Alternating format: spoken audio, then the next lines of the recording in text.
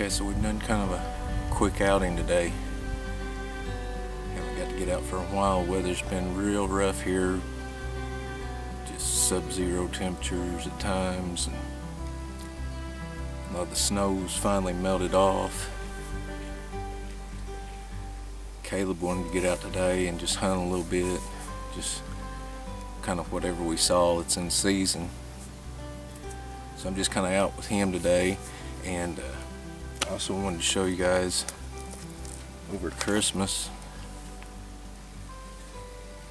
I got the Schrade SCHF 36. I tell you, this is a beast, a beast. Love it. So that's going to be my new go-to field knife. But we got the Teryx out today and uh, rode back here on the mountain. We're just going to see if we can spot anything. You guys stay tuned.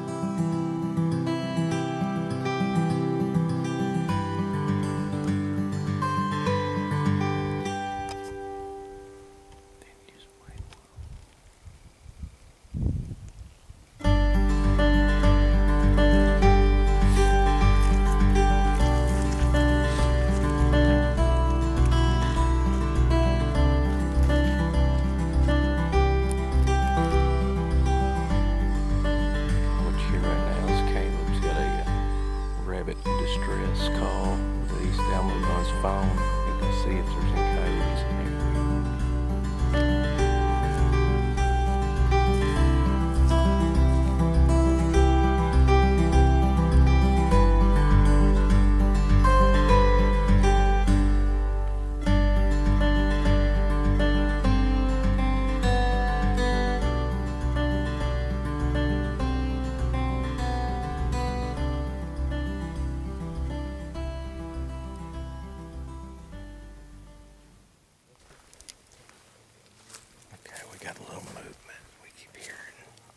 over the cliff.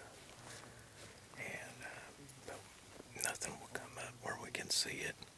So we're just gonna kind of walk down there and stalk around just see.